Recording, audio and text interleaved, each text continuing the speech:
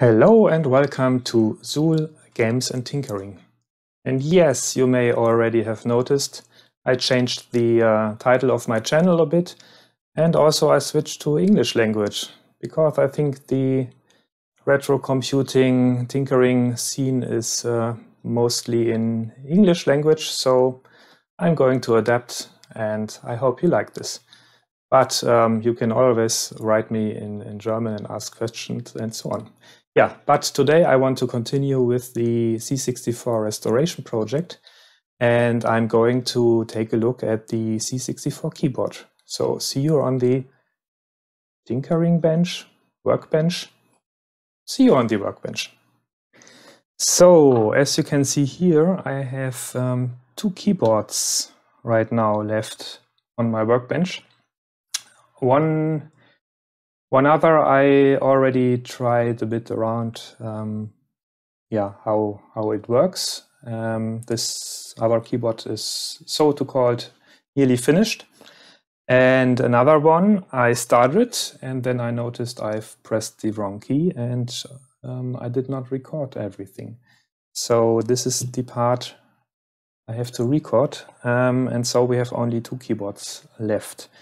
And this one is really, really yellow. You can, on, on the cam, it's not so massive yellow, but in real life, it's wow.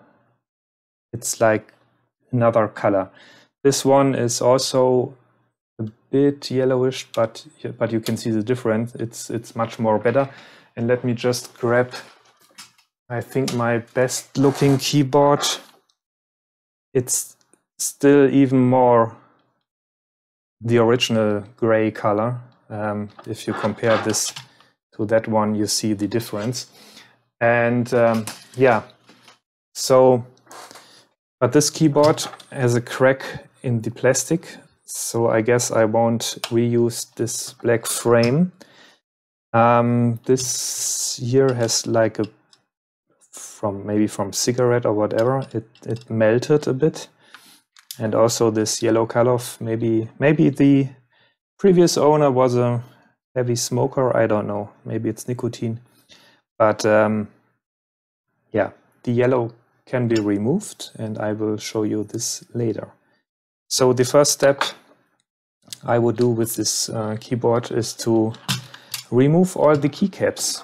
And for that it's it's kind of easy. I'm using this tool tool, which you normally use to remove um, ICs from its socket. So you can grab the IC and pull it gently up or mostly mess it up and um, yeah, bend the pins out or whatever. But if you do it right, you will get the IC out. And, but you can use this very, very good to grab the keys from, from the bottom and just pull them gently straight to the top. Because you can see um, on the on the keyboard side there is this plastic keyboard stamp, this cross, and the counterpart is inside the keypad and it just sits um, together and combined with this spring between, because this spring yeah, keeps um, the keycap up. Otherwise, you maybe have a permanent key press signal to the computer. And yeah, um, you can just remove all the keycaps. I, I won't do this now again because I did it just an hour before. Um, we will see that later. Uh, one special key is the, the space bar. There you have to be a bit careful. First, maybe grab the space key in the middle and pull it gently up. And then you see there is an, an, a metal rod thingy there. And then you can, um, yeah, like bend over the space key yeah, I lost the spring. Uh, there it is. And then you can uh, pull out this metal rod from its clamps and then you have the space bar. yeah, and otherwise this shift lock key is uh, different from the others because this is an like an other piece of equipment. Wow, it's disgusting dirty. Um, it's soldered with two wires to the PCB, so you have to take your soldering iron to heat it up and remove um, those two metal uh, wire and then you can uh, remove the PCB. So if you removed all the keycap, then you can um, unscrew all of those little screws here. Um, it's, it's a lot of them. And then you can lift off the PCB.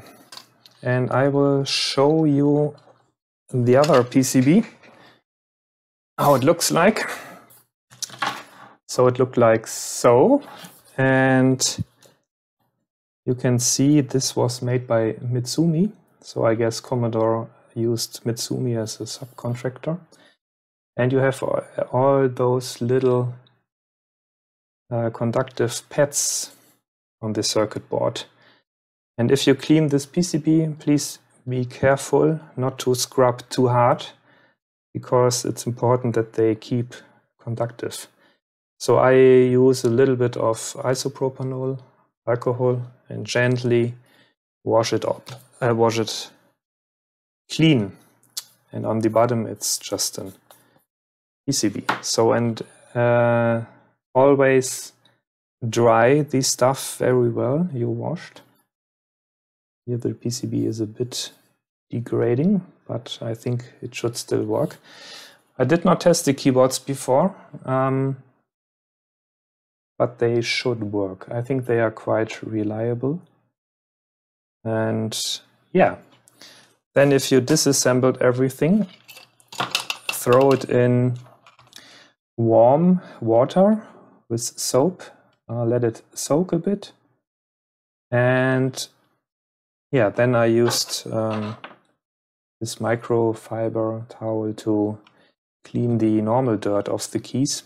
But I think um, that part I have in the next recording. So see you there. Okay, so I'm back from the bathroom. And what I did, I yeah, threw everything in the sink, let it soak with uh, warm water and uh, soap, let it soak a bit, and yeah, let's see the result. This is the plastic piece still a bit wet. So this now has all to dry very well, but this is fine. And then we have the keyboard stems and all those springs, which also have to, to dry now. Very good. So this will maybe lie around for a day or so. And we have the keycaps. And I used this um, microfiber towel thingy to scrub every keycap um, to scrub off the regular dirt. So now we have nice and clean keycaps, but as you can see, the, the yellow color is massively in there. And I'm now going to use the RetroBrite method on those keycaps. So if you are not familiar with RetroBrite, uh, the community came up a few years ago uh, with this uh, thingy about throwing uh, this plastic stuff into hydrogen peroxide uh, fluid or paste or whatever and put it in ultraviolet light and heat. And that should remove the yellow color or the brownish color. And yeah, I tried it once before and it seems it works. It takes its time. Normally you would put um, this stuff then in in summer in the in the sun and let the sun do its magic. Um, now it's January. There's not not much sun out there, and even if there's sun, there's not much um, ultraviolet light power. So I built a box wrapped in the inside is wrapped with aluminum foil uh, to reflect all the light, and I bought a ultraviolet lamp. I will show you some some pictures now. And yeah, and uh, now, and I also bought, I can show you that in life, hydrogen peroxide fluid, 12% concentration, because by German law, you are not allowed to buy more than 12% concentration as a private person. And since I'm not a business, I have uh, to stick with this 12% um, liquid um, hydrogen peroxide, H2O2. And um, yeah, I will use a plastic uh, plastic container through all the keycaps in and yeah, so put enough peroxide over it so they are all in the fluid, put it in the box, turn on the lamp and let it run for hours of hours from time to time I'm going to mix this around so the, the keycaps um, have a different position and the light should reach all the yellowed part and remove the yellow color. So I'm going to prepare that and make a few pictures of it. So welcome back. Only a few seconds in the video, but in real time some days passed. And first I want to have a look together with you on the keycaps. So I let them, um, yeah, I have put them in the liquid H2O2 uh, fluid for around 48 hours and stirred them from time to time. And I guess it came out very, very good. The yellowish color is yeah gone. And you have really really uh, inspect the keycap carefully to to find some leftovers from the yellow or brownish color so this went out very very well um, next we have all these uh, key stems and these springs yeah, the rust on some springs. I still don't have an idea how to fix that.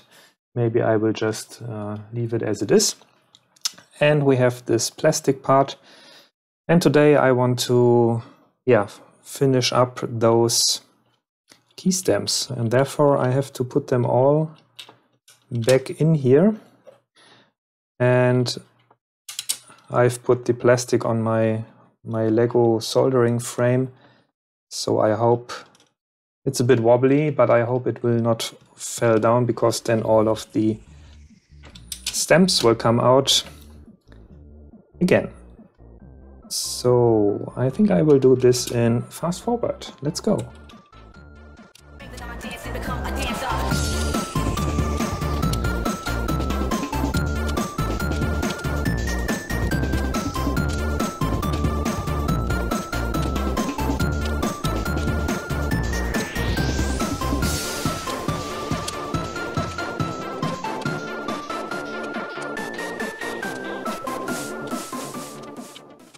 And the last one. There we go. Thankfully, I did not accidentally spill one of those down the sink. Okay, so let's make some room. And let's move this very carefully over here. Okay, if we now would assemble the, the uh, circuit board and the keycaps, I would bet with you that some keys will work fine, some will work well somehow, and some maybe don't work at all. Because uh, last time I already said there is this um, conductive rubber thingy at the end. And there are two contacts which press down on the circuit board and um, yeah, create a circuit where the electricity can flow. And those yeah, tend to uh, degrade uh, over time. And I want to restore the full functionality uh, of those all. And I will start with exactly the opposite what sounds useful. I will clean those rubber stems a bit with uh, isopropanol. And I will just use an Q-tip thingy and gently rub over the over the rubber end. And I guess I will do this again in fast forward.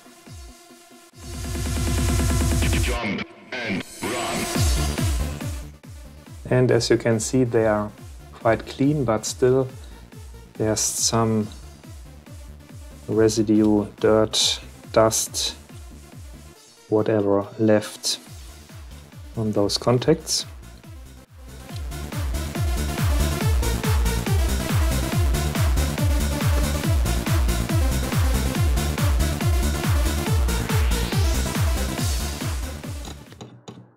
All right.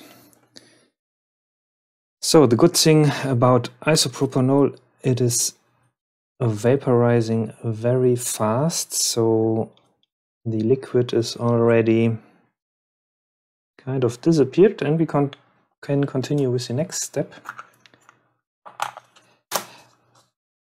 And therefore I'm using this graphite based conductive lacquer or a coating or whatever it's it's called in English. And this will, yeah, this will increase or enhance the conductivity of this rubber thing at all because it will, yeah, it will increase the conductivity between the rubber pads and the circuit board. And we just need a little bit of those on the on the contacts and I will try to to do this right now. Uh, I guess I have to take a bit more. So I don't want to to have very much fluids on the pads. So just, just a little bit, I guess. Because otherwise there could be too much contact and the key is like, hey, I'm pressed down all the, all the time. And that's not what we want. This is also the method you would use if you have like an like an old remote control which is not working very well on TVs maybe. You can fix most of this stuff with this graphite lacquer. So if you're searching for this stuff I got it from Amazon. And it's called Contact 33 uh, graphite. And it's a real nasty stuff because I want you have to to get it from the from the bottle into this small plastic cap and it always spreaders around and you have it all over your fingers. But yeah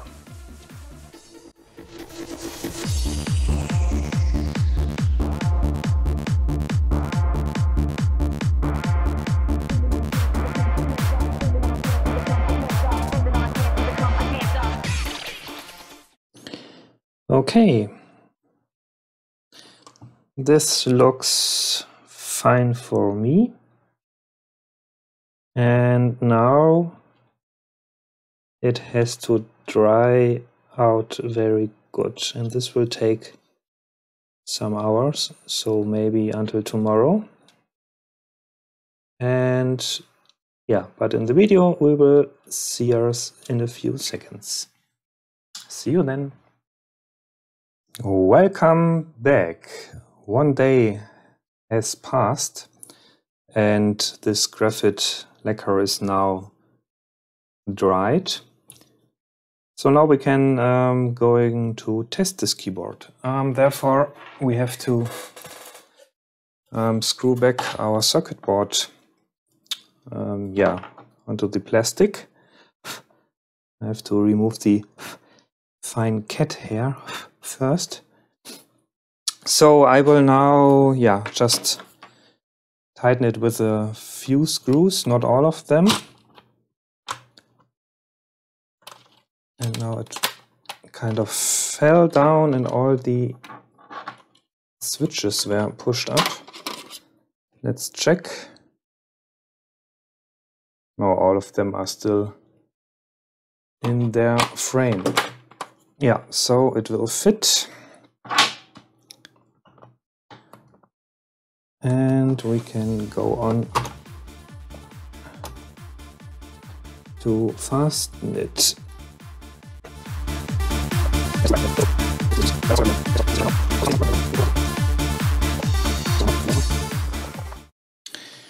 All right. So now let's grab an, an C64 working one. So let's take this uh, SixtyClone of mine. Just connect the necessary cables. And of course the keyboard. So I would expect now to see a weird behavior. And let's turn this on and that on. Let's see, do we have a picture? Yes. Yeah, you can see it already. One key is pressed, but why? Because the stamps now, yeah, like fell down on the circuit board and made contact. So if I now just press, we got weird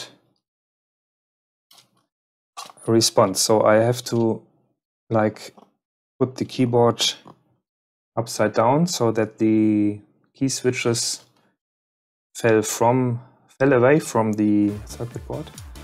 Now I should be able to at least do a first test of the keys.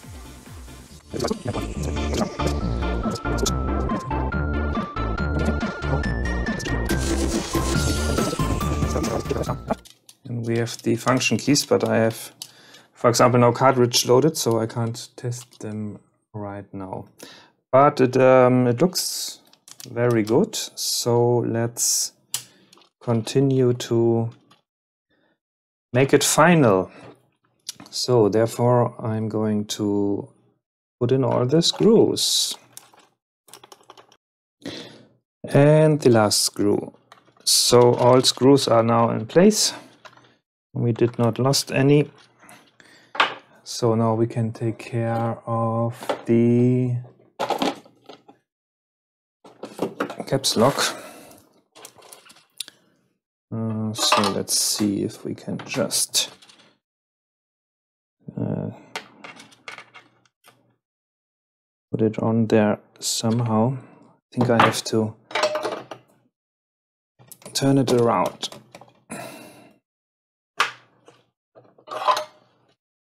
So let me do some fresh solder.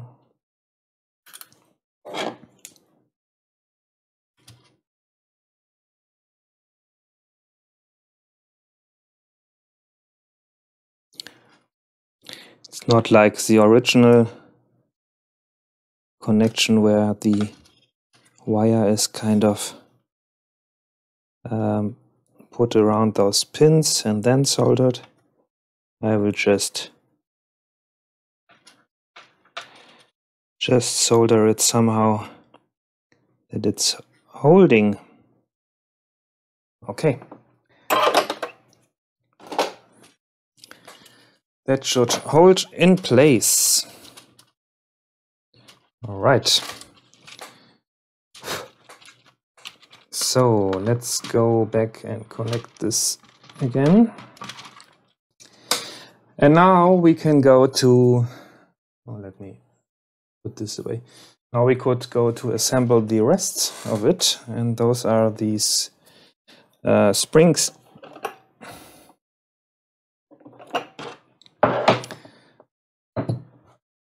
And we just have to put them onto these stems. So some are still rusty, but yeah, for the moment it's okay. On another keyboard I had the not so good idea to put those springs in I don't know if it is the same name in other countries than Germany, but here it's the S100 motorcycle chain lubricant oil thingy. But that was a not so good idea.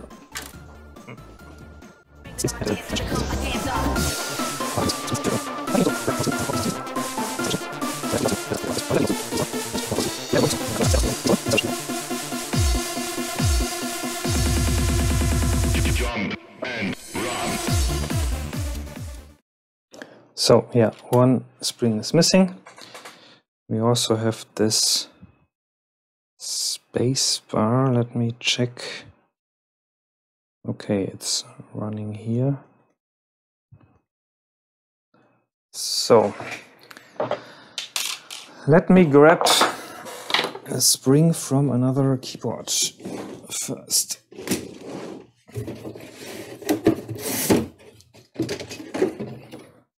So I will just take this one, remove the function key and grab this spring.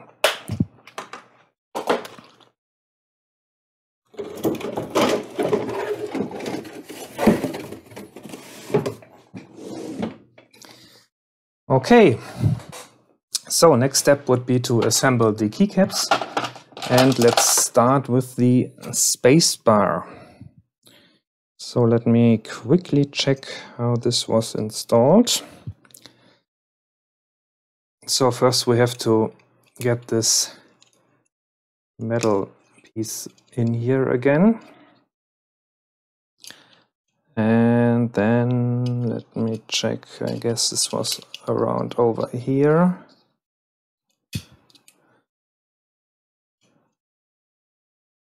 And then it goes in here.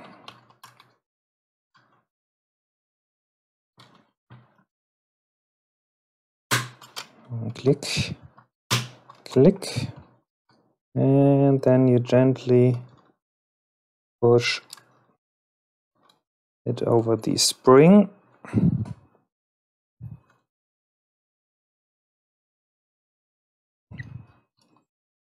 I can't see anything.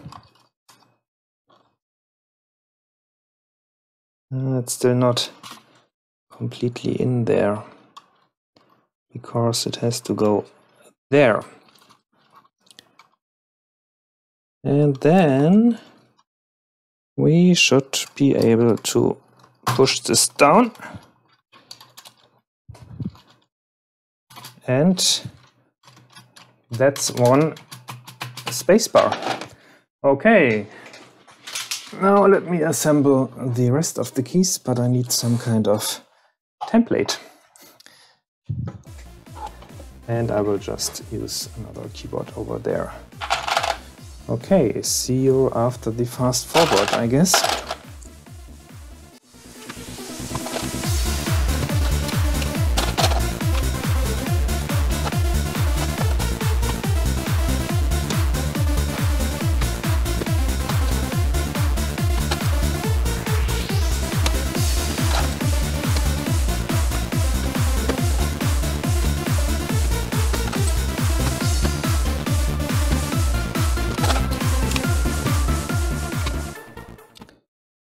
This E key, there is um, some black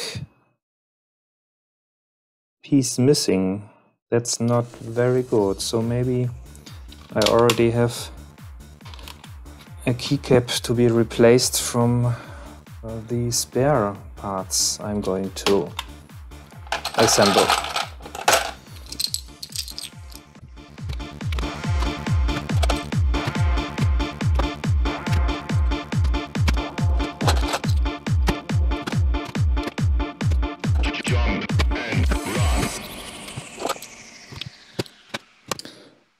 The last one, the V cap.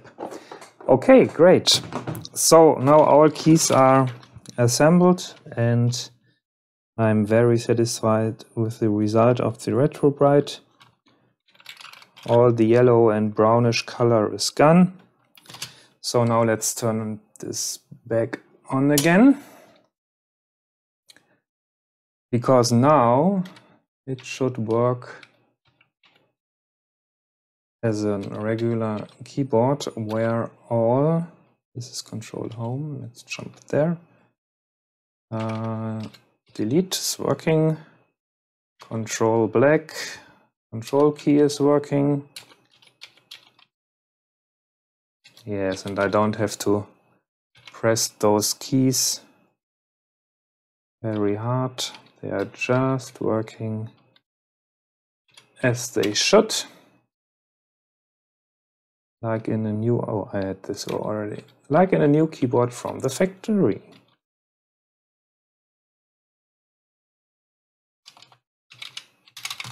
Yes, and the spacebar, of course, also.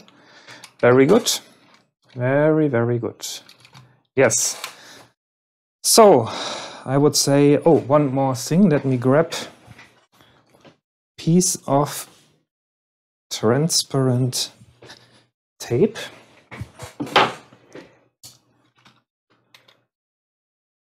To put this back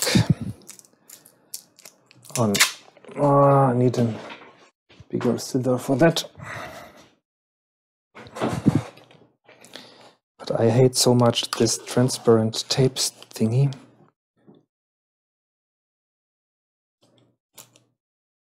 Because it always wraps up or whatever.